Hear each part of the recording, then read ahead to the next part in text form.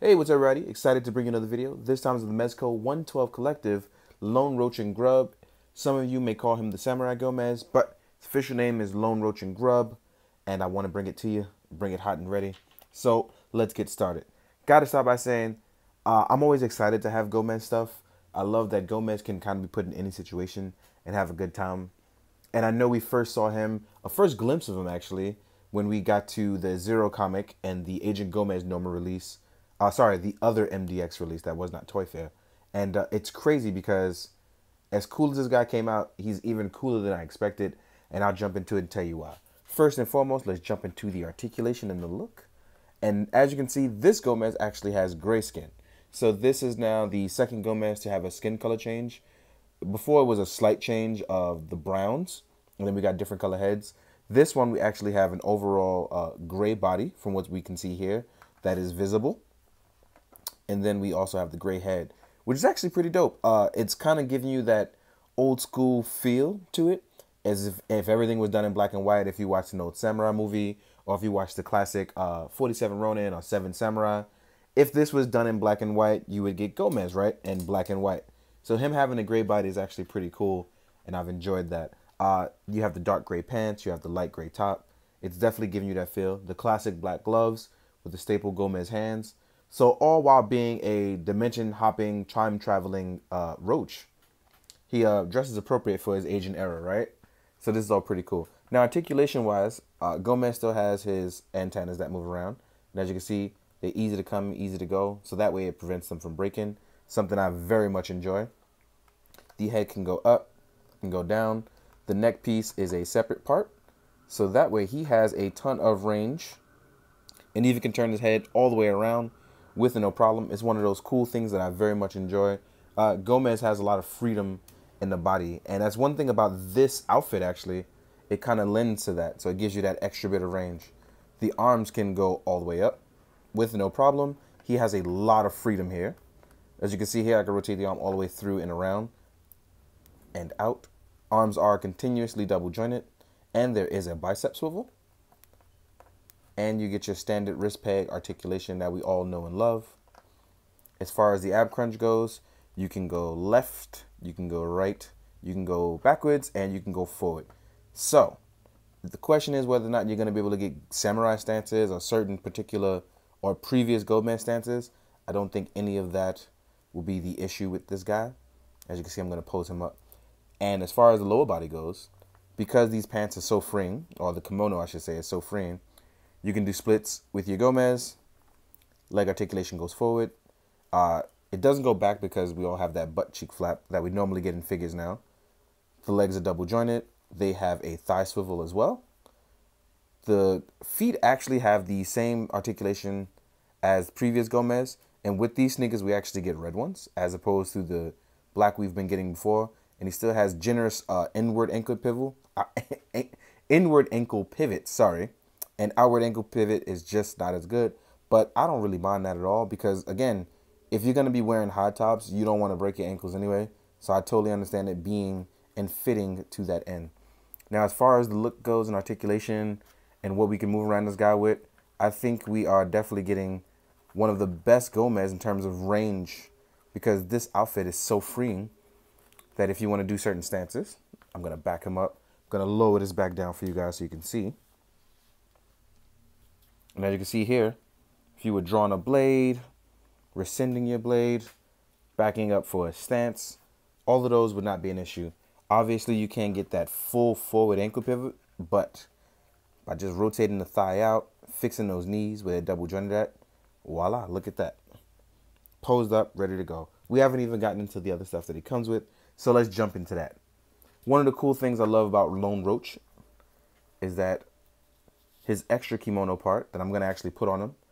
But first I'm going to show you what it looks like. I'm going to leave him like that. This is absolutely beautiful and stunning. It's one of those things where it lends itself the art of just being really well done. I love this design. Uh, it's just really dope. I don't even know what it comes from, but I know that uh, I kind of want it on a shirt now. The front looks very, very good. And the the dark red actually complements the gray very well fits with the sneakers. Uh, classic 90s New York guys would absolutely love this outfit. uh, as far as color color palette wise. So let's actually just put this on. Make Gomez look stylish as hell for the Edo period.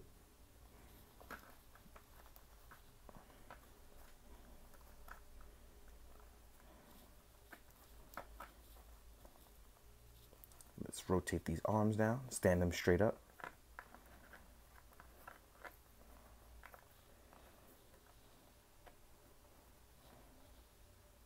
And as you can see, this fits over his uh, previous costume very, very well. He has the look and the feel of it. Fits all very, very well. Looks a little baggy, but uh, that's obviously the look of this era. Clothes could look great. Now, when you actually stand this guy up and get him to just look around, like over his shoulder, even with the arms propped in any shape or form, just looks good with him just standing there like this. Absolutely stunning. I love this look. It's one of those things where it's different enough to get you vibing with it, but also kind of recognizes that artistic style that you may like and love. Really, really like this at all. This is dope. And it feels really good too. This is one of those things where uh, the vinyl on this, I don't know if it's vinyl, I could be wrong, sorry. But just the feel of this, this pattern just really good. Super, super dope. This is one of those things uh, I hope going forward they get uh, more artsy with it. It's a very good look. Now, gonna make you look good. Stand you right there. Then we're gonna talk about the other things that Gomez comes with, uh, and we get a little bit of mixing and matching and really cool things like that. So uh, let's try to uh, get to it. Now we always gonna get your staple Gomez hands and your staple Gomez items, but I'm gonna just talk about them same and all. Now you still get Boom Boom, but now Boom Boom is in red. You don't get a black one or a crazy color one. You get Boom Boom in red. But since Gomez is now a samurai, there is no pieces here, so that way you can kind of add that storage case like previously. But if you already have previous Gomez's, this shouldn't be too much of an issue. You Just plop those right in there, and you can color swap with any previous Gomez that you may have. Boom Boom in red is really dope for me because red is my favorite color. So everything about this is an A plus for me. So Boom Boom coming in red, not a problem. Then you get your standard staple backpack for your lone roach. This time it comes in green. Uh, and if you want, you can swap it with your Street Gomez, make it look cool so you can have green on green or black and green. The one cool thing about having uh, all the different Gomez that you can kind of swap around the taste of it and color swap. The palettes is just really dope. You still get your standard backpack. It's really nice. I'm going to get back to this in a second. Next up, you get his hoverboard, which by far this is my favorite version of the hoverboard so far. Look at this cool design. They've kind of just put one of those those images that you really know and love that kind of fit the era and put it on his hoverboard and it actually color matches on the opposite side. So that's actually really dope. And just like always, in case you're wondering, feet is still magnetic. Really, really nice. Still strong. No problems. But this, my favorite hoverboard. No matter which Gomez I use now, I'm definitely going to use this hoverboard for it. Not going to have any issues. Now, you still get uh, his standard zip sword, the Cosmic Katana. This time, instead of it being all black or green or, or any other version, you actually get one that's uh, that's reddish at the hilt and on the sheath. Nice samurai stuff. Got that nice look, that nice sheen to it, not the black version, no stealth one. So this is actually very nice. Again, complements his previous colors right here on his uh, kimono. Really, really nice. Now, you're still gonna get your standard katanas, even though you have your zip sword. These are black and gold. They have a nice shine finish to it. Really nice. And if you want, you can slide these right in between the belt area. Like a natural born samurai that he is. Voila. Now you can actually complete your look for the Lone Roach so far. Now, some of you may be asking, where's the grub? What is the grub? What do we talk about with a grub? I'm going to get to that actually right now.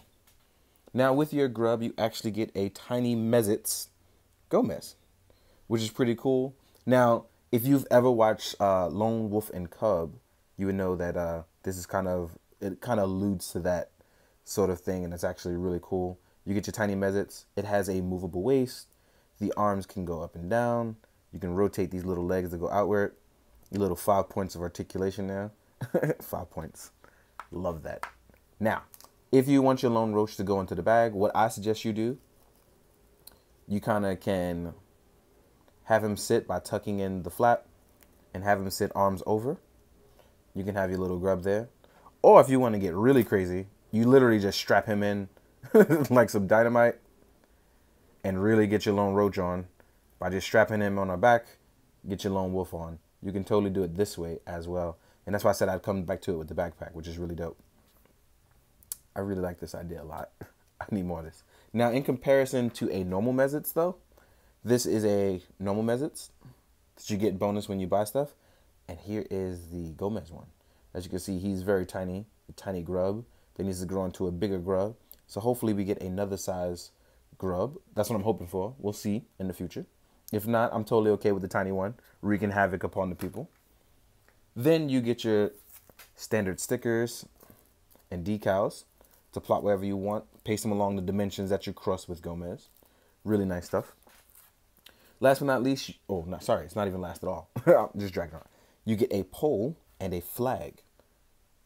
Now, with your flag, you're going to allude through these slides. Do do do do. Do do do.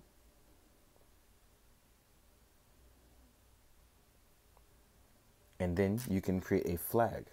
The flag is actually really nice. It's not wired, unlike the back of the jacket, which has a nice pattern that allows you to actually look like it's free flowing as well. And I think that's the vinyl helping that out. But this is actually really nice. And at the top, I don't know if you guys can see it well enough, but I'm going to try to get it a better picture of it as I remove this. Here's the Mezco logo, Japanese kanji. It's really, really nice. And if you want to wave your flag wherever you go, this is a very nice look for it. Next up, you have your red scarf that you get, which now definitely fits. Everybody always asks me what the scarf does. Why does he come with a red scarf? Well, it doesn't matter because now it totally fits in this area. If you want to be a lonesome Ronin and or samurai, well, Ronin or, or masterless samurai. Sorry about that. But if you want to be a Ronin or a samurai. Next up, we get the two heads that I'm going to talk about, which is really cool because this head, Land of the Rising Sun head, looks really, really nice with this white and red. And like I said, we've been alluding to a lot of different variations of red and cool dark colors, and it's just it's been a really good look. I really like the way these ones came out. And the eyes are a little bit more translucent, so you can see through the back of it with more white. It's really nice. Then you get a cool black and red stealth head. Which again, if you've gotten previous Gomez, mixing and matching these heads are gonna be a really fun time. I love these color swaps. They've come out great each time. So I'm really been enjoying these. Now we're going to talk about the hands that Gomez comes with, and we're going to go through that right now. As you can see, he comes with his standard closed fist, which is natural. You have your weapons holding hands for swords and staffs, and holding boom boom, should you have it. These two right there. Then you have your open action palms, which are probably one of my favorite hands for Gomez. They just, you know, they split so much action. Then you have your right trigger hand, which is pretty cool. And the left one, the left trigger hand. You have your standard, uh, you know what hand. this is my favorite one, but if I curse, you know, they get weird about it. There's still children watching. Then you have your pointing hand. This one is a right one.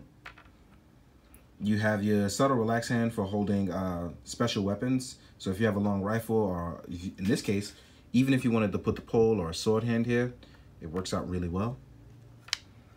You get another trigger hand for holding the Cosmic Pea Shooter, should you decide that's a staple. You get your sounding off hand, two fingers. You get your standard grenade holding hand or a large uh, weapons hand. And I think that about covers the hands. Now we're gonna jump into the size comparison. So let me clean up just a bit. Leave Boom Boom in the background. Let's stand Gomez up as well as possible so we can get this guy to look as good next to some other toy lines. So what I'm gonna do is, I'm actually gonna back up a little bit. So we actually have a little bit more space to cut, talk about everything with other lines. So first and foremost, uh, I want to compare him to other Gomez. So let's do that right now. Stand him up next to his uh, various other counterparts that you see himself with and various dimensions and timelines.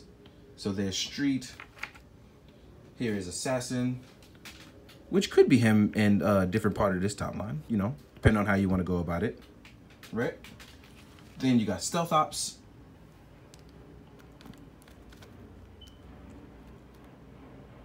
And last but not least, the one that started it all, we have Agent Gomez, which is probably the, uh, I guess he's the one that uh, kind of triggered all of this, right? The Agent. So here we have the five Gomez together, looking really great, and I'm hoping we, we get more because honestly, I've been having way too much fun with this guy, crossing him over in just about anything you can have him in. And it's just fun to have a really cool toy that you can kind of be free with. So I've been really been enjoying. Uh, honestly, I was gonna say this is probably one of my favorite toys as much as it is a Kuga, which is uh it says a lot about me. Here we're gonna compare him to some other Mezcos. So here he is next to a Judge Dredd. Here he is next to a Batman. So we can get our comparison on. So size-wise with other Mezcos, he probably stacks up pretty well. A little bit more lean and thin. Here he is next to a custom, but it's on a Mezco body. Suit by CJ, head by Old Boy. And as you can see, size-wise, Gomez looks great with just about everybody in the Mezco era, so that looks good. It's a very good look. Now we're gonna compare him to some other lines and show you what it looks like next to some other lines. Here he is next to a Lightning Collection Green Ranger. Here he is next to a Storm Collectible Scorpion. Right? Voila. Those look pretty good. I mean, even if he is on the smaller side, it just looks fun. You can have some fun. Here he is next to the Mafex Spider-Man. Here he is next to an articulated Icons Ninja. For those of you who love ninjas and want to cross this over, you'll have a good time with the ninjas and this guy. Really good. Here he is next to a 1000 Toy Synthetic Human. Doo -doo. Here he is next to Kamen Rider Agito. So you can see uh, the Mezco stuff is actually a tad bit bigger, but because of Gomez's lean body, it actually looks pretty cool. Even if he is like an anthropomorphic roach with a big head, body-wise, he looks great across other separate lines as well too. So like I said, even if he is dimension hopping, it'll look good. Here he is next to a Marvel Legends Golden Jaguar, aka Killmonger, right? Here he is next to Mythic Legions. Here he is next to a NECA Predator. So you can just see this guy's pretty small. And uh, just in case you want to do some like skeleton warrior stuff, the skeletons 2.0 are a bit smaller, Mythic Legion wise. Just in case you didn't want to see that. Or sorry, just in case you wanted to see that. All in all, this has been a dope piece. I've really loved it. One of the things I wanted to say for last that I thought was really, really dope, uh, and I wanted you to wait for the pictures, but I'm kind of excited to show you it now, is that Mezco actually also included a really cool poster. A Mezco Toys production. You can see the Japanese kanji up there. Lone Roach and Grub, Vista of Death. There's Boom Boom in it, there's Grub, there's Gomez, and this looks great. Something you can hang on your wall as a memento of getting this piece. Uh, it's just one of those cool things that you kind of just get. I think that including things like that in it is definitely a nice added bonus, and it just looks great. Why not uh, build your universe, have something cool to talk about and a little memento of it, right? Especially if you're supporting it and you love this line. This is a definite great addition to it. So hopefully you guys have enjoyed. Hopefully you found it informative. But most of all, guys, hope you do good, be good, drink your water. Later.